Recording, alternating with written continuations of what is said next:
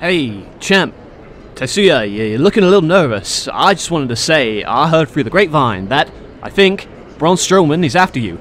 Now take it from me, if that dude gets his hands on you, he can make you disappear for a long time. Trust me, I know. So uh, just be on the lookout. After all, we don't want anything to happen to your nice shiny world title, would we? And uh, just a word of warning, I don't think Braun Strowman's the only one who would appreciate a shot at that metalweight title.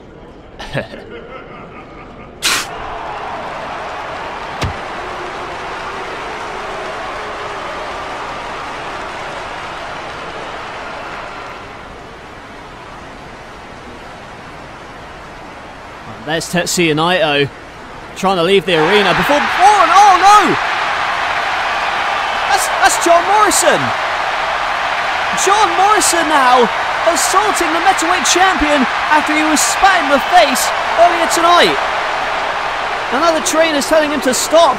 Naito was trying to escape the arena before Braun Strowman got him. But where's John Morrison going now? Oh my, oh my god, look out! John Morrison diving from the top!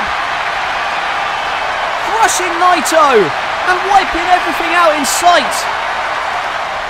John Morrison risking it all and taking down the metalweight champion.